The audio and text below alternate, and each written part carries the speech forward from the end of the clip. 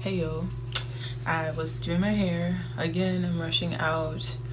I slept in this morning, so I gotta do a lot of stuff now. I'm gonna get my outfit ready and I'm gonna go talk to some people and see if they can help me with my goals. So yeah, let's get. Hi finger food. Did you miss me? So let me pack my bag and talk to y'all at the same time. Sorry, the camera moving. We's going out we is going to a little art store. What's in there? Oh, it's it's headset type and lotion. We just going to an art store. You want to? You want some? Hmm. Come eat. Here you go, little baby. so we're going to um an uh, art store to get art supplies and also to see if they have art classes because the little baby need to learn.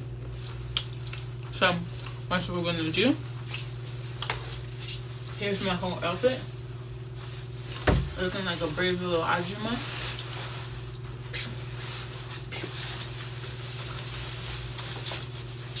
You want some more? Hmm. Come have some cashews. Be quiet. Come eat. I don't care if it's not on the list. Alright. You see me? Hello, fruit cup. Okay, bye. Let me get out of here before I be late again. Nobody told me to do it, but this is how I did it. You see my hair looking crusty? Okay, I fixed it.